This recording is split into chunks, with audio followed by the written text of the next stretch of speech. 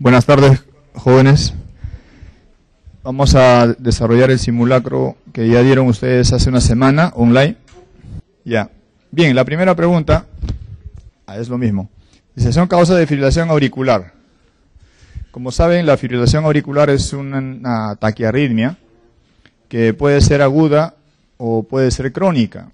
Cuando es aguda, habitualmente eh, se debe a un fenómeno eh, digamos, de, zonas ectópicas que se encuentran en la desembocadura de, la vena, de las venas cavas. O pueden ser también por ingesta de, alcohol en gran cantidad.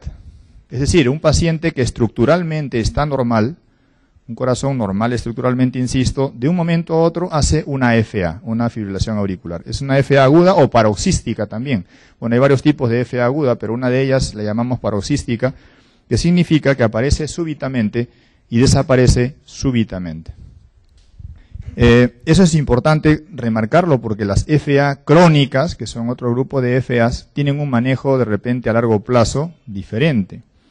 Y en las causas de FA crónica ya tenemos que entender que ahí el corazón generalmente ya está estructuralmente dañado. Y las causas más frecuentes, bueno, no la más frecuente porque hay varias aquí, pero una de las causas más frecuentes es la insuficiencia cardíaca. Lógicamente, esta insuficiencia cardíaca se debe a muchas causas y ahí está metida la hipertensión. Y está metida eh, la isquemia, los infartos cardíacos. Puede también ser producido por un hipertiroidismo de larga data, que va a producir una cardiopatía estructural. Y en realidad la diferencia más importante en el tratamiento, tanto en una FA paroxística aguda o en una crónica, es el tratamiento anticoagulante. Es decir, en una FA crónica siempre hay que pensar la posibilidad de anticoagular. No siempre, pero generalmente se anticoagula. En cambio, en una FA aguda o paroxística no se anticoagula, habitualmente no se anticoagula, excepto que la FA dure pues más de un día, dos, más de dos días en realidad o tres días, ahí sí tendríamos que anticoagular primero para poder cardiovertir, o sea, pasarla a su ritmo normal. Recuerden que la idea de una FA, ¿cuál es? La idea de una FA es bajarle la frecuencia del ventrículo. No importa si es que se cambia ritmo sinusal o no. La idea es que la frecuencia del ventrículo disminuya. Y habitualmente, ¿qué fármacos utilizamos para eso? Podemos utilizar beta bloqueadores, podemos utilizar calcio antagonistas o podemos utilizar el clásico, la clásica digoxina, ¿no es cierto? Normalmente utilizamos la digoxina cuando la FA se da crónica o se da en un paciente con el corazón ya insuficiente, ¿no? De tal forma que la digoxina también va a mejorar ese corazón insuficiente porque produce un inotropismo positivo. En cambio, utilizaremos un beta bloqueador, un calcio antagonista, si es que nuestro corazón todavía está bastante bien en cuanto a la función. Y eso en realidad es para ambos grupos, tanto para la FA aguda como para la FA crónica. Pero la diferencia también entre la FA y la aguda y la FA crónica es en la FA aguda nosotros tenemos que cardiovertir. Es decir, pasar del ritmo, que es FA, pasar el de ritmo sinusal, o sea, regresar a su ritmo normal. En cambio, en una FA crónica, por lo general, ya no interesa cardiovertir, porque así cardiovertamos, así pasamos al ritmo sinusal, el pronóstico o la sobrevida es la misma. No vamos a mejorar la sobrevida cardiovertiendo. Entonces lo único que hay que hacer en una FA crónica es mejorar la frecuencia del ventrículo, o sea, bajar la frecuencia del ventrículo a menos de 90 o menos de 80. ¿Qué preguntan acá? Son causas de FA excepto, ¿no?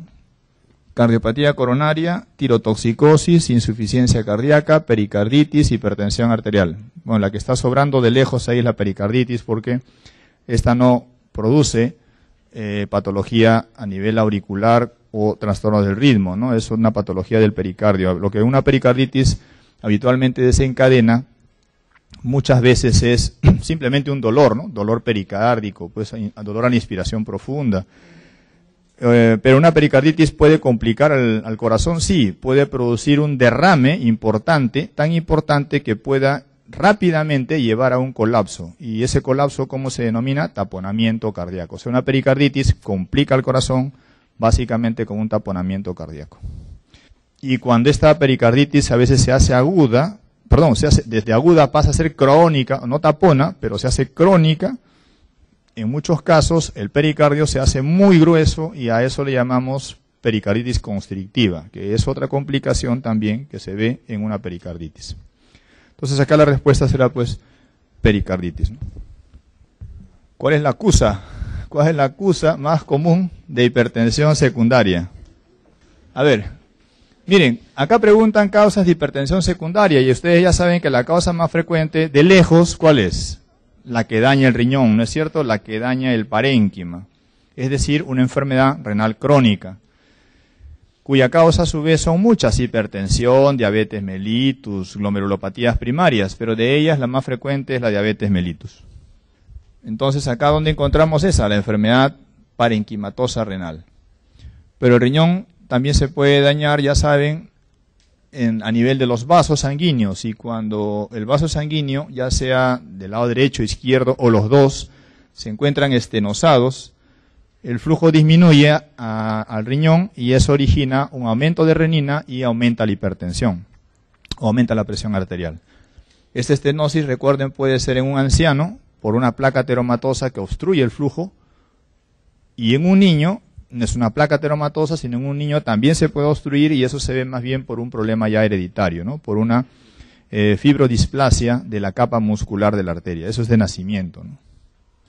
Otras causas de hipertensión arterial secundaria, tendríamos que pensar de repente ya, como bien dice acá, un síndrome de Cushing. Claro que sí, un aumento de hormonas de la glándula suprarrenal, sobre todo pues ah, de los glucocorticoides, en este caso específico, pues el síndrome de Cushing es una elevación, ¿no es cierto?, de las hormonas glucocorticoideas Ojo, síndrome de Cushing significa que la lesión puede ser en la glándula suprarrenal o puede ser a nivel del hipotálamo o puede ser a nivel del hipófisis, ¿no es cierto?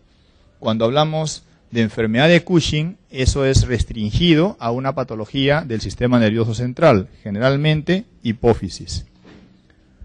Y es cierto, como los glucocorticoides tienen cierto tipo de acción mineralocorticoide, retienen sodio y al retener sodio entonces va a haber un aumento de la presión arterial. O sea que eso sí también podría ser una causa. El feocromocitoma también es otro origen de hipertensión arterial secundaria y la razón es que son, eh, son originadas por aumento, ¿no es cierto?, de catecolaminas que se producen en la médula de la glándula suprarrenal. ¿Siempre en la médula? No, porque la médula de la glándula suprarrenal puede tener proliferación pero ectópica, o sea, en otro lugar, sobre todo en el retroperitoneo. Y entonces uno a veces busca en una tomografía, en una resonancia, busca aumento de tamaño de glándulas suprarrenales y no las encuentra. Pero hay que buscar en otras zonas y en otras zonas las encontramos. Entonces, mucho cuidado con eso. Y efectivamente el feocromocitoma produce una clínica muy característica pues de hipertensión arterial. ¿no? La, el dato clínico que les van a dar ustedes de feocromocitoma es de un paciente que tiene enrojecimiento facial, que tiene cefalea intensa, que tiene diarrea, puede tener poliglobulia, puede tener hipoglicemia. Y la hipertensión de este paciente con feocromocitoma, recuerden, es por cambios bruscos de posición. Se levanta, se acuesta, se echa, se para, puja, se maniobra de valsalva, y todo eso desencadena la crisis hipertensiva. Y así como hay una hipertensión importante, también puede haber una hipotensión importante. Enfermedad parenquimatosa renal, dijimos que sí, eh, hipertensión por hiperaldosteronismo también es otra causa. O sea que todas son las causas, ¿no es cierto? Pero ¿qué preguntan? La más frecuente pues enfermedad renal parenquimatosa. Recuerden el hiperaldosteronismo, esto sí debe venir y si no viene pues este año vendrá algún otro año, pero ha venido ya en realidad un paciente que presenta hipertensión arterial a predominio diastólico, a predominio diastólico que presenta hipopotasemia e hipertensión. Recuerden, en el hiperaldosteronismo la hipertensión se acompaña de hipopotasemia y alcalosis metabólica. Y la presión es a expensas, la hipertensión es a expensas principalmente de la diastólica. Muy bien, entonces sí, pues la letra D es la, eh, la respuesta correcta, ¿no? Bien, esta pregunta, ¿qué les parece? ¿qué diagnóstico le pondrían de primera intención a este paciente? Exacto, eso es lo que tienen que empezar a reconocer en este tipo de preguntas cuando vienen referidas al dolor torácico, ¿no? Deben reconocer las preguntas así de este tipo rápidamente por un dolor que aparece reciente, ¿no? O sea, miren, dice es un paciente ya de 60 años con factores de riesgo cardiovasculares, hipertensión, diabetes, tipo 2, y encima no se trata en forma correcta la diabetes tipo 2 y que viene a emergencia por un primer episodio de dolor torácico. Si nunca tuvo dolor torácico y aparece por primera vez y es un dolor torácico tipo opresivo de una hora de evolución, entonces este paciente tiene un Zika. Ese es el diagnóstico que debemos reconocer en este paciente. Dice que se presenta mientras caminaba, o sea que estaba caminando. Puede aparecer también al reposo, los Zika, ¿no es cierto? En este caso aparece al esfuerzo no se irradiaba, no había diaforesis y tampoco palpitaciones, pero eso, ¿qué tiene que ver? Igual, sigue siendo un Zika, porque ha tenido un dolor anginoso por primera vez. ¿Por qué es anginoso? Porque es tipo opresivo. Y encima dura una hora. Luego dice, ¿no? El examen físico revela hipertensión, no está taquicárdico, no aumenta la frecuencia respiratoria, el resto del examen es normal, y le tomamos un electro, porque claro, si tenemos un Zika, el siguiente paso es un electro antes de los 10 minutos. Y en el electro, ¿qué encontramos acá? ¿El ST elevado o el ST no elevado?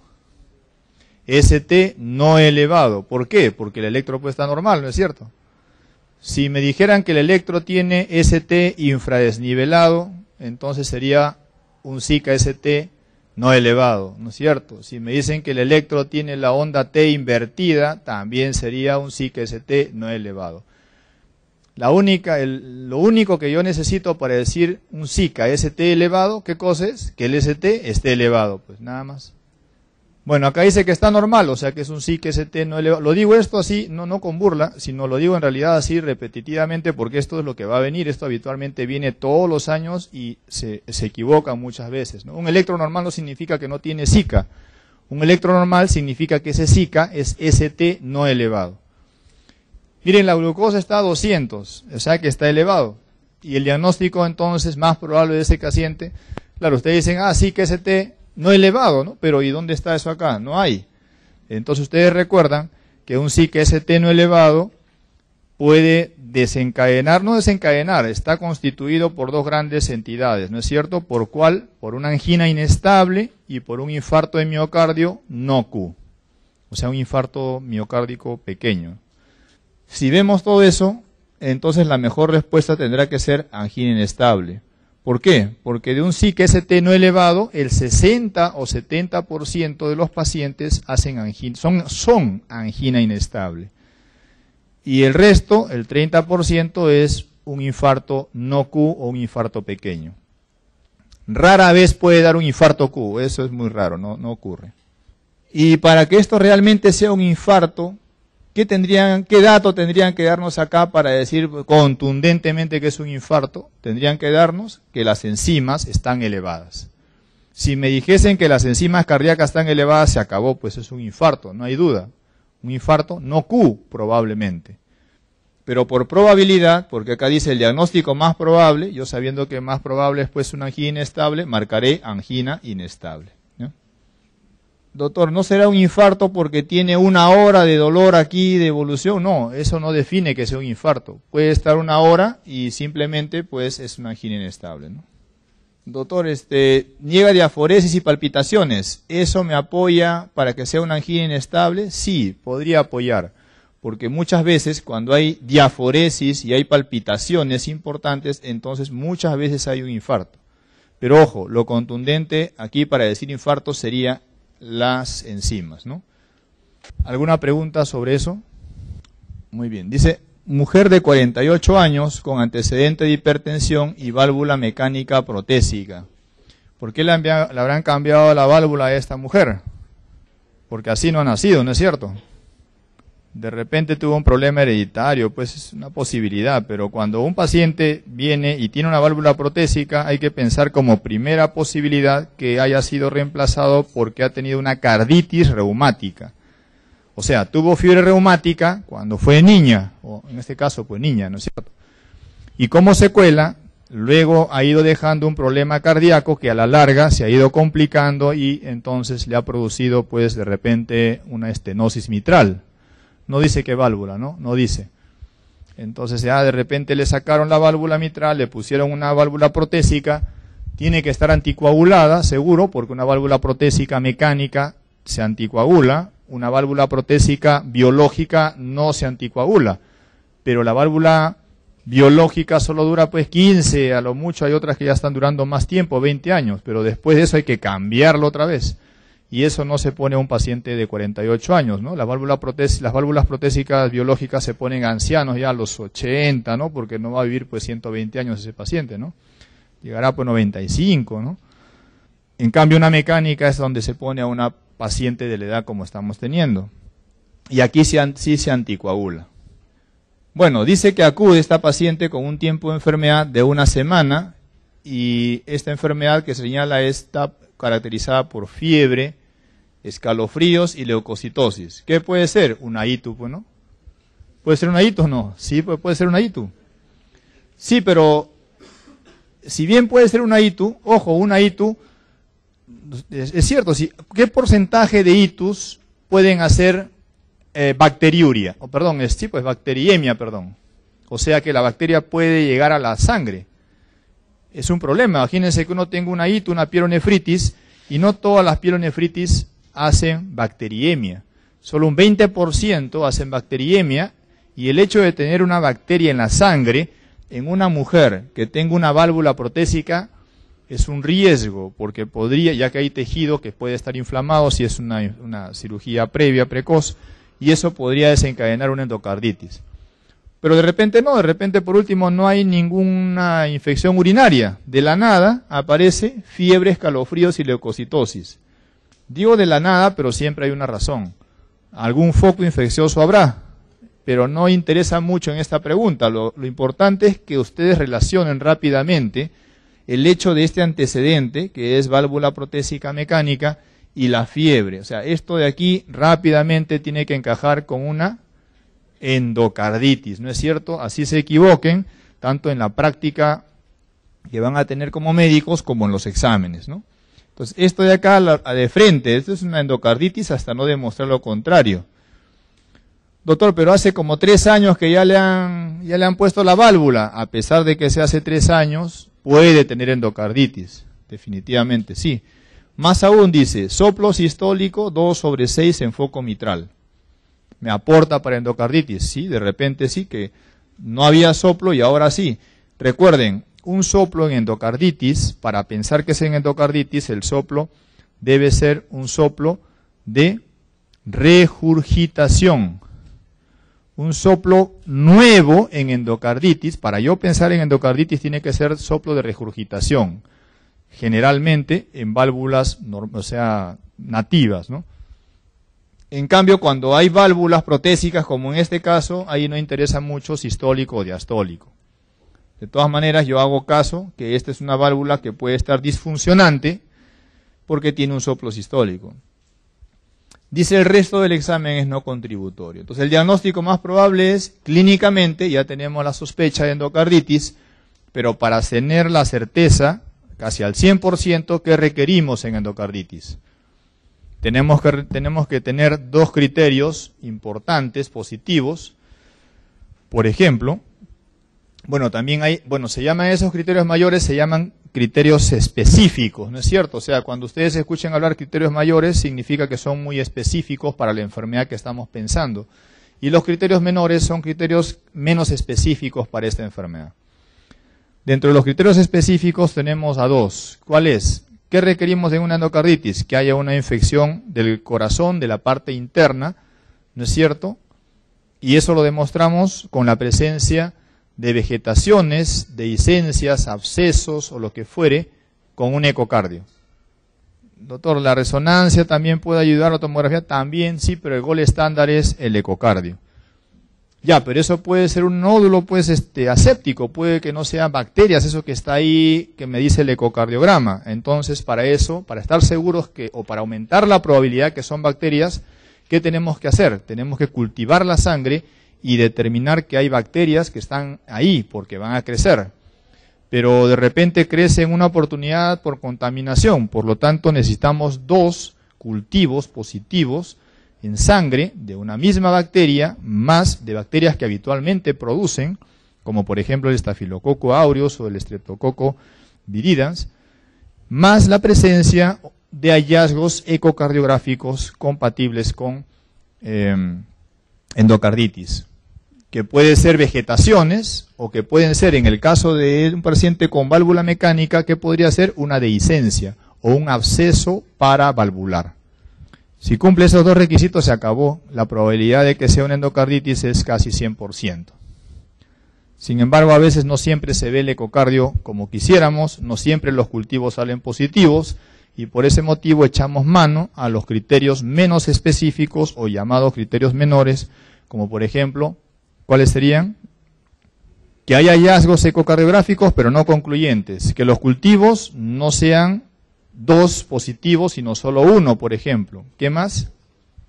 Que haya signos periféricos de embolización. Por ejemplo, podemos encontrar los nódulos de Osler, ¿no es cierto? Las manchas de Roth en el fondo del ojo, las lesiones en astilla, las lesiones de Genoway, etcétera, que son lesiones embólicas y algunas lo consideran ah, inmunológicas. La fiebre, la BCG, Recuerden que la BCG característicamente en endocarditis es alta, es 50, 70 o 100 milímetros por hora en promedio. Bueno, entonces esa sería la idea de nuestro paciente. Y aquí el diagnóstico es solamente con la clínica, por probabilidad. ¿Qué tendríamos? No tendríamos mucho, tendríamos solamente fiebre para poder pensar que esta paciente tiene, ¿no es cierto? Pero lógicamente el antecedente y la clínica es lo que nos ayuda. ¿Se dan cuenta? Es como en cualquier enfermedad, ¿no? O sea, todo está regulado por criterios, pero al final el médico es el que decide, así no tenga los criterios porque tiene un juicio clínico. Los criterios solamente te dan una ayuda para que tú puedas hacer el diagnóstico. Agente infeccioso más frecuente en endocarditis depende. Si es aguda, el agente más frecuente es el estafilococo aureus. Si es subagudo, el streptococo epidermidis. Y si es una endocarditis crónica, ahí hay que pensar en hongos. O en Brusela también. Yo recuerdo de residente vi una vez una endocarditis por Brusela. ¿Cuándo pensar en una endocarditis por estafilococo aureus? En un paciente pues que tenga un foco infeccioso, un absceso, por ejemplo, o en aquellos pacientes que sean drogodependientes endovenosos, por ejemplo. ¿Cuándo pensar en, que la endocarditis es por Streptococcus viridans? Cuando este paciente presenta, por ejemplo, una... A ver, a ver, a ver, se perdieron. A ver, a ver, atentos. Yo les sugiero lo siguiente, si se pierden y le pasan la voz al de al costado, ya se perdieron toda la fila, ¿no? Entonces, mejor pues piérdanse solitos porque si no ya después ya después que termina la clase le preguntan. Pues, Voy a repetir porque creo que es importante, podría venir. Nuevamente, si pienso que es una endocarditis infecciosa, porque la evolución es muy rápida, dos a tres semanas, dos semanas en realidad en promedio, debo pensar en estafilococo aureus. ¿Por qué pensaría en estafilococo aureus? Porque hay un foco que está infeccioso, imagínense un absceso Imagínense que el paciente se fue de viaje por algún pueblo de la sierra, se infectó el pie porque se dañó con la piedra, va a un puesto de salud, le ponen una ampolla para la infección, pero no le hacen una asepsia adecuada. Y de repente le meten estafilococo aureus, se hace un absceso glúteo, el absceso suelta bacterias a la sangre y luego, bueno, al final el estafilococo no necesita que la válvula esté dañada para que el ataque. Ese es el riesgo de tener estafilococo en la sangre. Tener estafilococo aureus en sangre es un riesgo grande de endocarditis. Así la válvula no haya tenido nunca daño, así esté normal, puede producir endocarditis. En cambio, un streptococo viridans es el agente más frecuente de una endocarditis subaguda. ¿Y cuál es el factor de riesgo? El factor de riesgo es que la válvula de esa persona esté dañada. ¿Por qué? Por una carditis reumática, por una fiebre reumática que haya tenido este joven, este niño, la persona, el niño mejor dicho, y ya de adulto ya presenta pues su estenosis mitral, su lesión aórtica insuficiente. Y entonces estos pacientes que pueden ir a un cirujano, perdón, a un, a un odontólogo que le hacen una extracción dental en mala condición, de repente ese diente estaba infectado, las bacterias se meten por ahí porque el streptococo viridans vive en la cavidad oral. Entonces de la cavidad oral se mete a la sangre y encuentra una válvula que ya está dañada y empieza el problema. Pero no empieza muy rápido, sino que la clínica es un poco más lenta, por eso que se denomina una endocarditis subaguda. Y el caso pues de una endocarditis crónica es ya de un paciente pues que tiene una patología como les decía, ¿no? La endocarditis por brucela o por hongos profundos que también puede producirse. Recuerden que hay endocarditis asépticas, es decir, que son inflamatorias nada más, como ocurre en el lupus. El lupus puede producir endocarditis produciendo nódulos en las válvulas y en la zona perivalvular, pero no son nódulos infecciosos, no son vegetaciones infecciosas, son vegetaciones inflamatorias que se denominan nódulos de, ¿cómo se llaman los nódulos de endocarditis? Ya se me fue. ¿De Osler? No, no, no son de Osler. ¿Cómo se llaman los nódulos que se producen por lupus eritematoso en, um, en, este, en el aparato perivalvular? Empieza con L. Liebman-Sack. Muy bien, doctora. Liebman-Sack. ¿No? ¿Han escuchado, no? La endocarditis de Liebman-Sacks no la han escuchado, pues ya la escucharon, recuérdenla, al menos no sé si pueda venir, pero es una cosa que yo recuerdo preguntaban antes, ¿no? Bastante, bastante, con bastante frecuencia. Esa es una endocarditis que no es infecciosa, ¿no es cierto? siguiendo con el tema, pueden venir dos preguntas más. ¿Qué preguntas más pueden venir en endocarditis? Doctor, el paciente fue sometido a un catéter, vamos a poner, es un paciente que tenía asitis, bueno, otro ejemplo, ya, contundente es este ejemplo. El paciente requiere diálisis, pero no puede hacerse hemodiálisis si no le hacen peritoneo diálisis. Le ponen un catéter en el abdomen y ese catéter se complica y se infecta y entonces luego hace una endocarditis mi paciente. El agente más frecuente es, ustedes dirán, estafilococo aureus, pero no, el agente más frecuente es un coagulasa negativo porque como depende de la piel, el coagulasa de negativo está metido ahí. ¿Y cuál es el, el estafilococo coagulasa negativo más frecuente? El estafilococo epidermidis. Entonces, pensar en estafilococo epidermidis en pacientes que tienen catéteres. Puede ser una derivación ventrículo peritoneal, también puede ser. ¿Y por qué es importante recordar este bicho? Porque el estafilococo epidermidis es resistente a la oxa, así que de frente hay que dar banco. En cambio el aureus, el aureus sí todavía puede ser sensible a la oxa. Cada vez se hace más resistente, pero puede ser sensible a la oxa. En cambio el estafilococo epidermidis no. Recuerden, el estafilococo epidermidis es coagulasa negativo. Y la pregunta de vuestro compañero decía, doctor, ¿y si le han operado a mi paciente? Y hace una endocarditis, bueno, la gente más frecuente, ahí teníamos que tener justamente la idea es estafilococo epidermidis. El estafilococo epidermidis también hay que pensarlo, pero sobre todo cuando está en los primeros 12 meses post cirugía. O sea, en una cirugía precoz, es decir, en un posoperatorio de 12 meses en promedio, la gente más frecuente es este, el epidermidis, pero no significa que sea el único, puede ser cualquiera.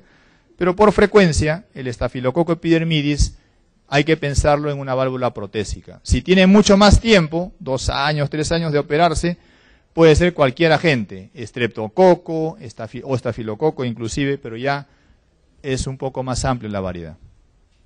Bueno, y acá, en la 5, preguntan lo falso, ¿no? Dice, el recuento de reticulocitos es el test más útil para evaluar hemólisis y médula ósea roja, normal. O sea, los reticulocitos son importantes en la medida de que me van a decir, cuando aumentan, me van a decir pues que la médula ósea está en la capacidad para poder producir glóbulos rojos, siempre que tenga la materia prima. O sea, siempre que tenga vitamina B12, ácido fólico, ¿no es cierto? O fierro para formar más glóbulos rojos. Porque si no, a pesar de que estén las condiciones de formar, si no hay materia prima, no aumenta reticulocitos. Entonces sí, pues los reticulocitos me evalúa la médula. Y además se evalúa la hemólisis también, porque imagínense que de un momento a otro se rompan glóbulos rojos por cualquier mecanismo. Entonces, ¿quién salta primero? La médula ósea. ¿Cómo? Produciendo más glóbulos rojos. Entonces, la elevación de reticulocitos me dirá también que es prudente pensar en una hemólisis. ¿No es cierto? Si yo tengo una hemólisis donde hay ictericia indirecta, donde el DHL esté elevado, lo normal es encontrar en un primer momento, ¿no es cierto?, que hay reticulocitos más de 2% en sangre periférica. Reticulocitos corregidos, ¿no es cierto? Reticulocitos corregidos. Entonces es cierto. La esferocitosis es el trastorno más común dentro de las anormalidades de los glóbulos rojos. Recuerden que el glóbulo rojo sale fallado a veces y la falla puede ser tanto hablamos propiamente que cuando está fallado el glóbulo rojo, entonces hay hemólisis, ¿no es cierto? Una falla del glóbulo rojo origina hemólisis. Pero son hemólisis que pueden ser hereditarias o pueden ser adquiridas. Dentro de las hemólisis que ocurre habitualmente hereditarias es porque el glóbulo rojo nace con alteraciones de la membrana y a veces se hace un redondo muy pequeño, bueno, un glóbulo rojo redondo esférico, un esferocito, o puede ser un eliptocito, ¿no? que también, y, ambas son por alteraciones de proteínas estructurales de membrana. La espectrina es la proteína que está metida en el asunto. Pero lo concreto es que sí, efectivamente, la esferocitosis es una patología que es más frecuente dentro de las anormalidades, porque además de esto, dentro de las anormalidades de los glóbulos rojos podemos encontrar otras, como por ejemplo alteraciones enzimáticas, ya no de membrana, o también podemos encontrar talasemias, que son alteraciones de hemoglobina.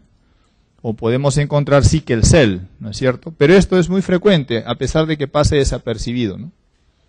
La anemia crónica severa, o sea, hemoglobina menos de 7, sintomática, ¿qué significa sintomática? Es decir, que da síntomas por anemia. El paciente puede presentar disnea, síncope, vértigo, náuseas, vómito, fatiga, cansancio, etcétera es indicación de transfusión de paquete globular.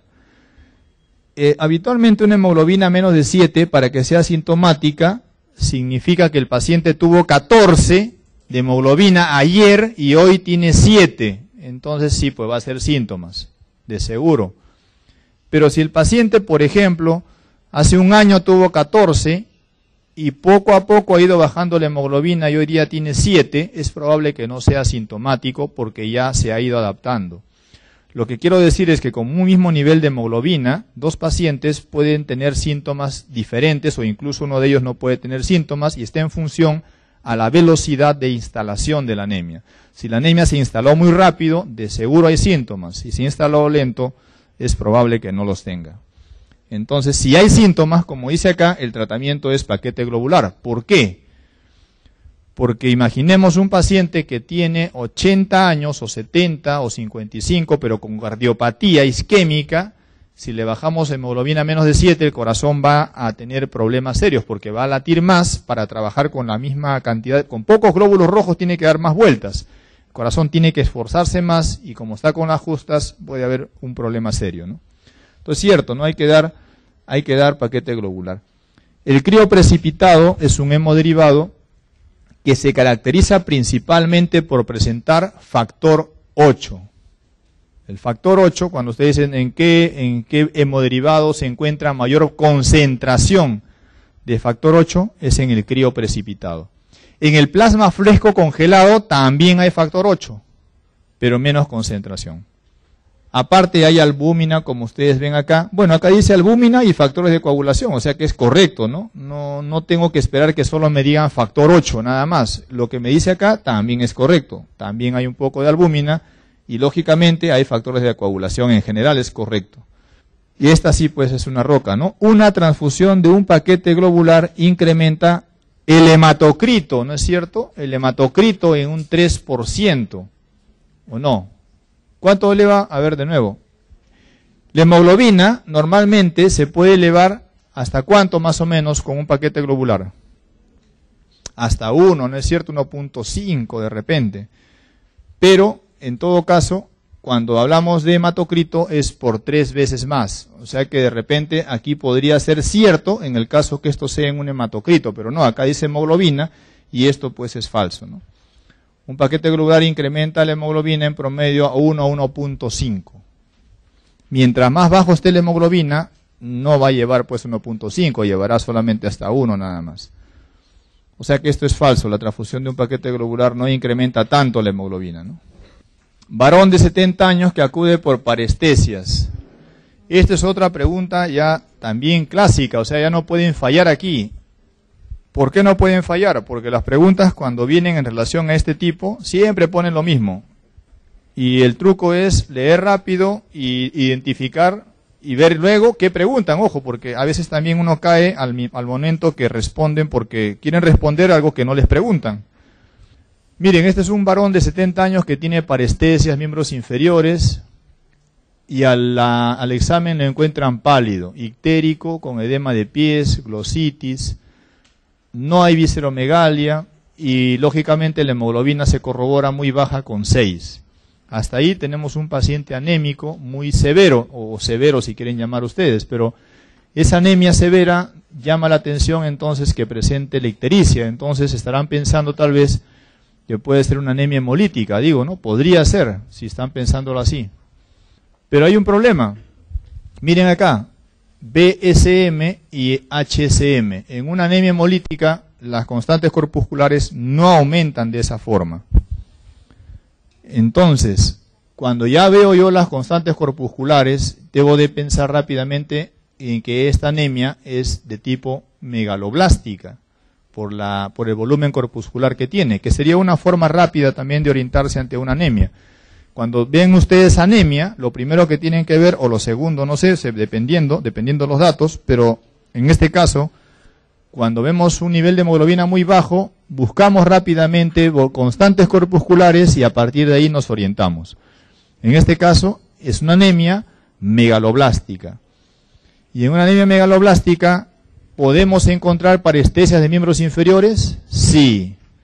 ¿Podemos encontrar marcada ictericia? Claro, porque en una anemia megaloblástica hay ineficacia en la síntesis de glóbulos rojos. ¿En dónde? En la médula. Y por lo tanto va a haber gran cantidad de pigmentación o de grupos hemos que están dando vueltas por ahí y que no se van a incorporar dentro del glóbulo rojo. Por lo tanto, una, una eritropoiesis ineficaz es la razón de la ictericia en estos pacientes. Edema leve de pies y glositis. Pero ojo, en todo tipo de anemia megaloblástica hay esta clínica. La respuesta es no, porque esto lo vamos a encontrar principalmente en la anemia megaloblástica producida por B12. Es decir, una anemia megaloblástica, BCG alta, HCM alta, rápidamente pienso déficit de B12, déficit de ácido fólico. Si me dicen que hay alteraciones neurológicas, tanto centrales como periféricas, es decir, centrales, el paciente puede decir paciente pues demente, paciente confuso o paciente con trastornos de actividad o de pensamiento, de la personalidad, porque el déficit de B12 trae trastornos neuropsiquiátricos. Y cuando digo periférico es el paciente tiene debilidad muscular y tiene parestesias. Esos datos son claves aquí para pensar que esa es una anemia megaloblástica por déficit de B12. Luego dice, para corroborar, dice TGP 50, TG, perdón, B35, TGO 50, FA 110, bilirrubinas totales incrementadas a predominio indirecto. Y aquí fíjense los reticulocitos están 2.5, pero no sabemos si está corregido o no. Es probable que no, porque los reticulocitos están bajos debido a que no tienen la materia prima, la médula ósea, para producirlos y a pesar que parezcan que están altos porque tiene 2.5%, si los corregimos, de seguro que sale menos de 1. ¿Cómo los corregimos? Utilizando la hemoglobina, bueno, el hematocrito en realidad del paciente, que sería 6 por 3, 18, ¿no es cierto? Entonces, 18 lo dividimos entre la el hematocrito ideal del paciente. Si es varón, 45. 18 entre 45 por reticulocitos, que es 2.5, multipliquen y les va a salir seguro menos de 2, 1.5 o menos de 1 seguro. Eso es reticulocitos corregidos y eso es lo que siempre tienen que ver para decir que si están altos o no están altos los reticulocitos. En realidad, por encima de 1, reticulocitos están bien, está respondiendo la médula. Menos de 1 reticulocitos corregidos está fallando la médula. Si pensaban que por la ictericia de este paciente la anemia era anemia hemolítica, porque podría pensarse, ¿no es cierto? El hecho de que haya Kunz acá les aleja un poco, al menos le aleja la posibilidad de anemia hemolítica autoinmune. Recuerden, el test de Kunz nos da una orientación de anticuerpos y si hay anemia, hay que pensar que esa anemia hemolítica es autoinmune. Porque claro, no todas las anemias hemolíticas son autoinmunes, hay anemias hemolíticas que son de otra categoría. Concluyendo, este es un paciente, miren, ni siquiera produce, preguntan si es por B12, ácido fólico, solamente preguntan anemia megaloblástica, ¿no? O sea que hemos perdido tiempo pensando mucho, pero igual, la idea es que ustedes estén con el concepto claro. Podrían decirles también que aquí los pacientes, el paciente tiene pancitopenia. La pancitopenia también se ve en el contexto de un paciente con anemia megaloblástica. Es más, a veces el paciente viene con pancitopenia, y uno está pensando pues en una anemia, este, una hipoplasia medular, una plasia medular, lo que tiene nada más el paciente es una anemia megaloblástica. A veces los pacientes vienen con polisegmentación de los neutrófilos y la polisegmentación de los neutrófilos también aporta a una anemia megaloblástica. Claro, no les dice si es B12 o ácido fólico, simplemente anemia megaloblástica. Insisto, uno piensa en megaloblastosis, causada por B12 cuando tiene síntomas neuropsiquiátricos o síntomas periféricos nerviosos, ¿no? En este caso, parestesias. Las causas de una anemia por B12 son muchas, ¿no? Ya las comentamos, hay otras preguntas que he visto que hay más adelante, ¿no? O sea, no llega, a ver. Y acá dice, mujer joven que presenta cinco días, tos seca, fiebre, dolor de garganta, palpitaciones, fatiga, mialgias y diaforesis. Presenta temblor de manos, palmas sudorosas y aumento de volumen de la región, en la región anterior del cuello. ¿Esto qué cosa es? Una faringitis. Podría ser una faringitis, bueno, es una posibilidad, pero una faringitis habitualmente no, no produce tanta sintomatología y mucho más no aumenta el volumen de la región anterior del cuello, no produce diaforesis. Mialgias podrían ser transitorias, palpitaciones rara vez, salvo que esté pues con mucha fiebre, ¿no? En realidad esta pregunta también es clásica, aprendan a reconocerla en el sentido de que tiene una sintomatología faringea, uno, tiene una sintomatología tiroidea, ¿no es cierto? Y aquí hay que rápidamente pensar en una tirotoxicosis. Esto no es un hipertiroidismo, ¿ah? Esto es una tirotoxicosis. ¿Qué es eso? Los síntomas que producen la T3, la T3 y la T4 puede ser, o sea, me refiero, bueno, visto de otra manera, cuando tengo T3 y T4 elevado en sangre, ¿a qué se debe? Se debe de repente a que mi glándula tiroides está trabajando más y produce más, sintetiza más. Ah, o sea que la elevación de T3 y T4 en ese caso es por un hipertiroidismo, que tiene muchas causas. Pero en otra situación, la T3 y T4 que está en sangre, de repente se debe no que la tiroides trabaje mucho, sino que la tiroides esté inflamada y al estar inflamada se rompen los folículos tiroideos y sale la hormona tiroidea almacenada y por ese motivo mi paciente tiene la elevación de T3 y T4. ¿Cómo se llama ese cuadro? Se llama tirotoxicosis. No confundir entonces tirotoxicosis con hipertiroidismo. Claro, en ambos casos, en los dos, las hormonas tiroideas están elevadas, en los dos los síntomas son los mismos, pero son causas diferentes de elevación de las hormonas tiroideas. En este caso, característicamente estamos viendo un paciente, a una mujer, que también ahí es la enfermedad más frecuente, en una tiroiditis de Dekerbaín o sub, bueno, en la clasificación de tiroiditis hablamos de inflamación a la tiroides, pueden ser agudas, subagudas o crónicas. En el caso de que estamos viendo acá se considera una tiroiditis subaguda, cuya causa es un virus probablemente. Es un virus, ese mismo virus que de repente ha afectado a la faringe, pues ese virus ha ido a la tiroides, se ha producido una reacción, los linfocitos han saltado rápidamente, la BCG se ha elevado casi hasta 100, es muy característico ello, y el dolor es muy importante, el aumento de volumen y el dolor en la zona anterior del cuello. Ustedes van a evaluar a esa paciente y tiene una hiper, eh, un dolor intenso en la región cervical anterior a nivel de la tiroides.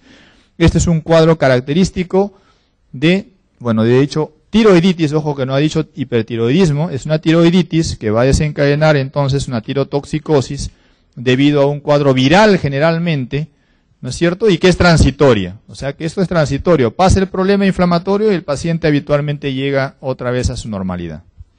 Diferente es una enfermedad de Gres-Bácedo. Una enfermedad de Gres-Bácedo es una causa de hipertiroidismo. Por cierto, acá dice solo tiroiditis, ¿no? O sea, tiroiditis a seca, no dice si es aguda o crónica. Bueno, debe ser aguda, pues no es cierto, porque tiene cinco días. Pero en realidad el dolor, bueno, no dice tampoco dolor. Lo que pasa es que si pensamos que es aguda, ojo, si pensamos que es aguda, normalmente no causa muchos síntomas uh, tiroideos, por lo general. En cambio, la subaguda es la que sí produce síntomas tiroideos. Repito, entonces, Grace Basedow es, produce un hipertiroidismo, son fenómenos autoinmunes.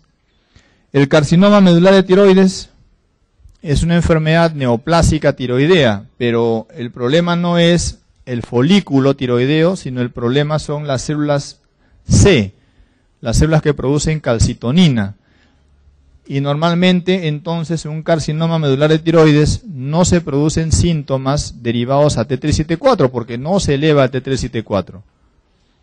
¿Qué se eleva? Se eleva ¿Qué se eleva? La calcitonina, ¿no es cierto?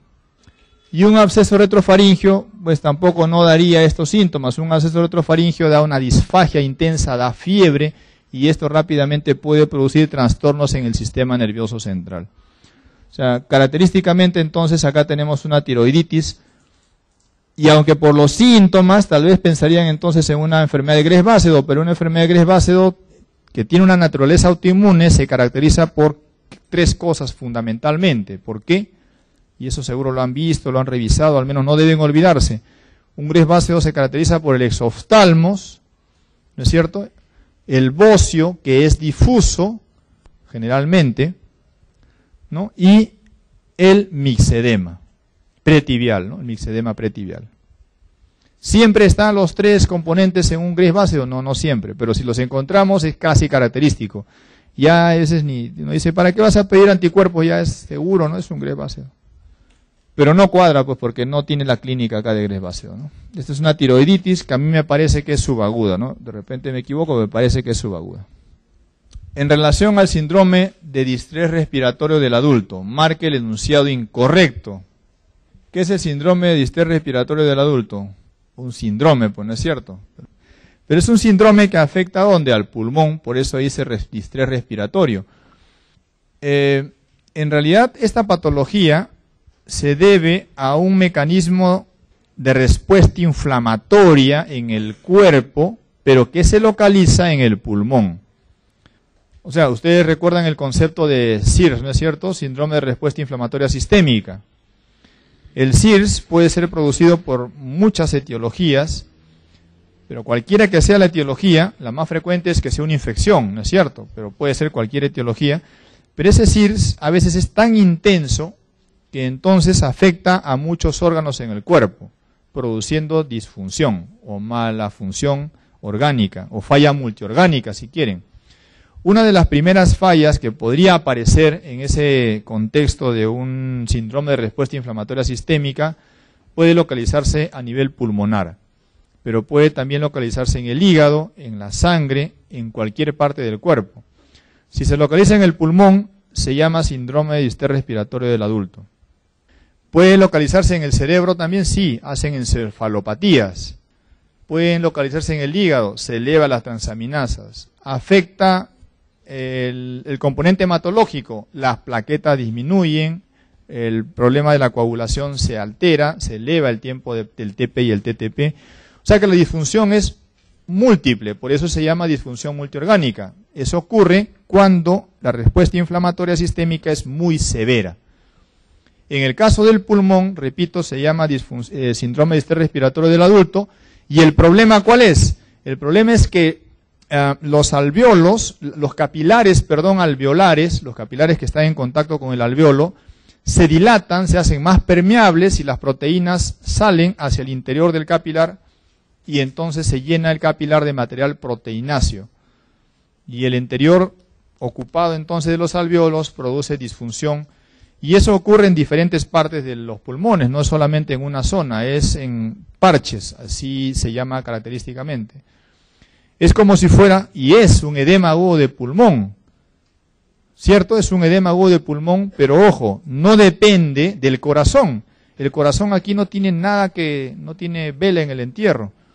El problema es propiamente por alteración vascular, por un problema de disfunción, por un problema de mediadores inmunológicos y el paciente debe estar en máquina, en ventilador, y a veces está dos, tres o hasta cuatro semanas hasta que baje el componente inflamatorio. ¿Cómo sabe usted, me dirán ustedes, que el corazón no es el problema? Claro, porque si el corazón falla, imagínense el ventrículo izquierdo, la aurícula izquierda falla, entonces la sangre regresa a los capilares pulmonares y entonces de los capilares pulmonares hay trasudación y hay lo mismo, o no, no, no es lo mismo, hay algo parecido. Hay edema alveolar. Pero la forma de saber si es del corazón o no es metiendo un catéter. Bueno, ahora se hace otra, de otra manera, pero el catéter Swan-Ganz es lo que deberían recordar. Es un catéter que va a medir la presión cuña en el pulmón. Y cuando la presión cuña se encuentra por encima de 16 o de 18 en realidad milímetros de mercurio, significa que el corazón está fallando y hay mucha presión en retroceso y lo sensa el catéter. Y entonces si tengo yo edema en el pulmón y mi catéter dice que tengo más de 18, ¿a quién le voy a echar la culpa? Al corazón. ¿Y qué haré? Diuréticos le daré a ese paciente. Le doy diuréticos y mejora pues porque le quito precarga, ¿no es cierto? En cambio, si tengo edema en mi pulmón, y mido con el catéter y, la medida es 14, 10 o 12, el corazón no tiene la responsabilidad de ese edema en el pulmón. Entonces, ¿en qué tengo que pensar? En muchas causas. Una de ellas es el síndrome de distrés respiratorio del adulto. ¿Ya? Esa es la idea. Para eso podría servir la medida del catéter de Swan-Ganz. ¿Qué mide entonces el catéter de Swan-Ganz? Mide la presión cuña, la presión al, eh, digamos, a nivel de los ah, capilares pulmonares. Esa presión de los capilares pulmonares es indirectamente, indirectamente la medida de la diástole del ventrículo izquierdo. El final de la diástole del ventrículo izquierdo yo la puedo medir indirectamente cuando mido la presión cuña con el catéter de sangre. No es que el, no es que el catéter va a pasar pues por el capilar hasta el ventrículo izquierdo, no se puede. ¿No es cierto? Se atraca en los capilares, pero al atracarse la punta sensa lo que está por delante. Y lo que está por delante, al final, va a llegar al corazón y va a censar exactamente al final del ventrículo, al final de la diástole del ventrículo izquierdo. Bueno, entonces dice acá, en relación al síndrome de estrés respiratorio del adulto, marque lo incorrecto. Los hallazgos más comunes son la taquimnia e hipoxemia. Por supuesto, acá hay una taquimia y hipoxemia pues tremenda. Lógicamente porque el paciente no tiene cómo intercambiar oxígeno, porque los alveolos están ocupados de ese material proteináceo, que son las proteínas que se han salido de la sangre al alveolo. Existe un PAFI. Esto de acá, el PAFI es la presión alveolar, perdón, presión arterial de oxígeno y la fracción de inspiración de oxígeno, que normalmente ustedes saben que la relación debe ser más de 300. Si es menos de 300, ya decimos que hay una injuria respiratoria. Y si es mucho menos, ya diremos que estamos ante un síndrome de estrés respiratorio. Es más, si estamos menos de 200, esa injuria, injuria respiratoria aguda ya la vamos a llamar específicamente síndrome de estrés respiratorio del adulto. Como dice acá, ¿no? El PAFI menos de 200, ah, es un, es un síndrome respiratorio del adulto, no hay duda. Infiltrado bilateral, exacto, el infiltrado es en ambos pulmones. Y una presión cuña, menos de 18, sí, efectivamente. Entonces, fíjense que la alternativa B está casi definiendo los parámetros, ¿no? Ah, perdón, entonces, falso. Muy bien, están atentos, también, también, también. Claro, porque lo normal es más de 300, ¿no es cierto? Muy bien, están atentos. Entonces no es, ya me emocioné, me emocioné. No es. ¿Qué pide? El incorrecto, ¿no? Ah, entonces sería por el incorrecto igual, claro. Esto es verdadero, esto es falso. Veamos qué dice acá. El uso de surfactante no es efectivo en el SDRA. Ah, bueno, no es efectivo. Ustedes podrían pensar que sí, porque en neonatos no es cierto. Claro, ustedes dirán, ¿por qué se llama del adulto? Porque hay uno que es en el neonato y en neonatos sí se puede utilizar y sí se utiliza, ¿no es cierto?, surfactante como medida en pacientes con pulmones inmaduros, pero en el adulto no se, demuestra un beneficio el uso de surfactante. La sepsis es un factor de riesgo para el SDRA, sí, porque la sepsis, como ya dijimos, ¿qué cosa es? La sepsis es un síndrome de respuesta inflamatoria sistémica causada o originada por un cuadro infeccioso y eso es una causa final de falla multiorgánica o a veces solo hace que falle un órgano y en este caso si falla el pulmón se denominará SDRA. Bueno, piden lo incorrecto, efectivamente la letra B sería lo incorrecto. ¿no?